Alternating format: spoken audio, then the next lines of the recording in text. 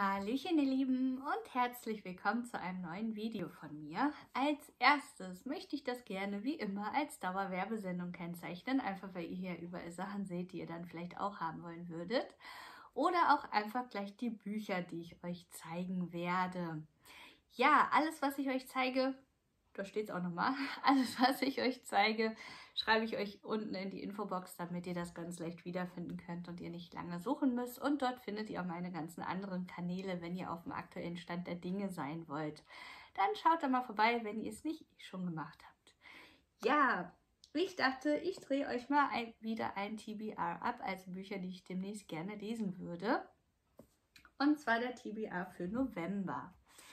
Das erste Buch, was ich euch da rausgesucht habe, beziehungsweise vorab nochmal, ähm, wie ihr wisst, kann sich das ja auch immer mal ändern, so mit der Leselust, dass ich in dem einen Moment Lust habe, das zu lesen und dann am nächsten Tag dann doch nicht mehr so.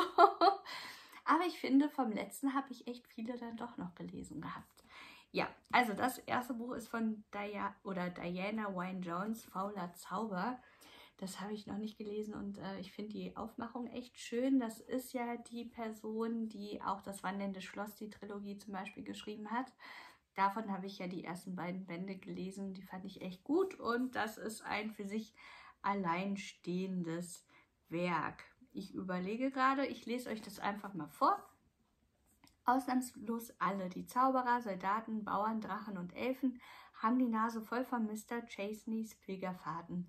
Jahr für Jahr fallen Touristengruppen aus einer benachbarten Welt in Dirkholm ein, um ein klassisches Fantasy-Abenteuer zu erleben mit allem, was dazugehört. Bösen Magierinnen, gefährlichen Drachen und dem furchteinflößenden dunklen Fürsten. Stets werden andere Bewohner des Reiches dazu auserwählt, diese Rollen zu übernehmen. Aber dieses Jahr reicht es den Leuten, Mr. Chasney mag einen mächtigen Dämon an seiner Seite haben, doch ein Orakel weiß Rat. Nun ist es an Zauberer Dirk und seiner Familie aus Menschen und Greifern oder Greifen, den Verwüstungen Einheit zu gebieten und ihre Welt zu retten. Ja, da ihr, wie ihr wisst, ich ja aktuell auch gerne Fantasy lese, ähm, könnte mir das auch echt gut gefallen und deswegen habe ich es ja auch und äh, möchte es jetzt aber auch demnächst mal lesen. Neil Gaiman sagt dazu, niemand erzählt so magische Geschichten wie Diana Wynne Jones. Ja, das ist das erste Buch, was ich euch rausgesucht habe. Das zweite, das gibt schon ein bisschen länger von Jonathan Stroud, die Bartimeus-Reihe, das Amulett von Sma Samarkand. ähm, da haben mir die beiden Glimmerfeen, Hallöchen, äh, auch schon gesagt, dass ich das doch auch endlich mal lesen könnte, weil das so gut ist. Aber ich habe es irgendwie immer noch nicht gelesen, obwohl ich schon die ganze Reihe da in meinem Regal stehen habe. Da, ganz oben in der Ecke.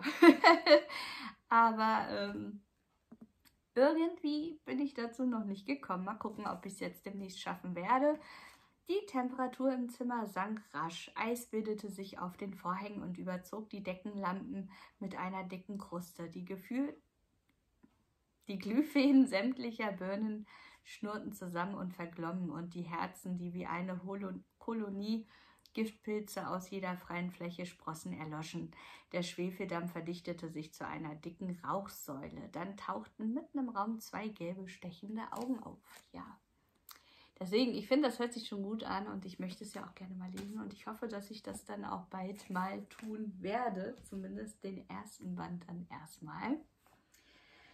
Dann, das Buch liegt auch schon länger von mir, von mir rum, bei mir rum, von J.K. Rowling, der Ickebock. Ja, worum es da geht, das weiß wahrscheinlich nur der, der es schon gelesen hat, weil die Beschreibung ist folgende. So hoch wie zwei Pferde, zwei, so hoch wie zwei Pferde, Augen wie glühende Feuerbälle, langer, lange messerscharfe Klauen, der Ickebock kommt. Was ich noch weiß, es spielt irgendwie in so einem Schlaraffenland oder so. Es ist auch illustriert und zwar gab es da wohl einen Wettbewerb für Kinder und der die schönsten Bilder gemalt hat, der durfte das dann hier eben ähm, ja, illustrieren. Hm. Ah, hier ist eine ganz nette. Ich wollte gerade mal gucken, ob ich euch davon was zeigen kann. Hat einer von euch das denn schon gelesen? Das würde mich mal interessieren, wie ihr das fandet. Ähm, ich glaube, das ist ja so ein bisschen zwiegespalten, so wenn man da nach den Bewertungen guckt. Aber nichtsdestotrotz möchte ich das auch gerne lesen. Ich hatte ja auch von J.K. Rowling ein plötzlicher Todesfall gelesen. Das fand ich gut. Das war ja so ein Krimi. Ich würde jetzt gerade Krimi sagen. Ähm, ich kann mich jetzt tatsächlich an die Story auch nicht mehr erinnern, aber ich weiß noch, dass ich es damals halt gut fand. Ähm, ja, deswegen, ich bin mal gespannt, wie das hier dann sein wird und ob ich dann da auch demnächst dann endlich mal zugreifen werde. Ja, das nächste Buch ist von Shirley Jackson, Spuk in Hill House vom Fester Verlag. Da habe ich tatsächlich die Serie schon gesehen und die hat mir echt gut gefallen, weil es einfach mal wieder so eine schöne, gruselige Spuk-Horror-Serie war. Und das ist halt das Buch dazu, beziehungsweise das Buch gab es zuerst. Das, die Serie ist nach dem Buch eben gemacht worden.